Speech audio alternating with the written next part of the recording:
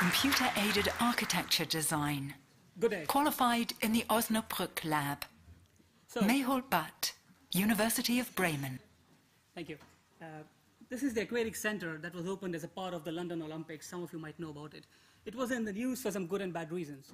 Uh, the bad reason was that about two and a half thousand seats had to be refunded on the day of the Olympics because visibility from the upper decks of the center was either zero or limited.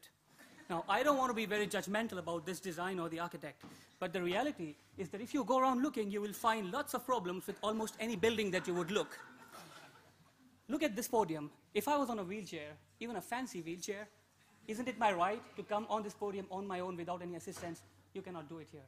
Imagine a conference with 50 people on a wheelchair, that would be a disaster. We do not think about disability access.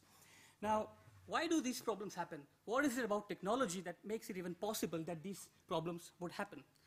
I work in the field of artificial intelligence, and it has a deep connection to the field of design.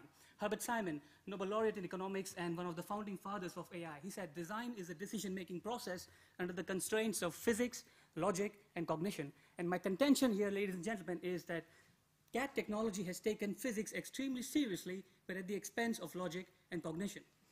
If you look at any contemporary CAD tool, the kinds of primitives that it provides access to are things like points, line segments, and polygons, things that are very geometric, disconnected to any particular, any way, in a, the conceptual way in which a designer would like to think about design.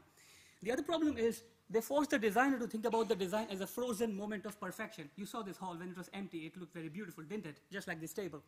Uh, in reality, there's action, interaction, dynamics, communication between people, and all these has a huge impact on how people perceive the design, how they experience the design. So as a designer, you might have the best of intentions and training. You might want to think about emergency situations, blind people, people on a wheelchair, pregnant women, old people, so on and so forth. But what do you do when the technology limits your capability? We have taken artificial intelligence-based methods and developed what I call cognitive CAD technology that allows the architect and an intelligent computer program to collaborative design, collaboratively design an environment.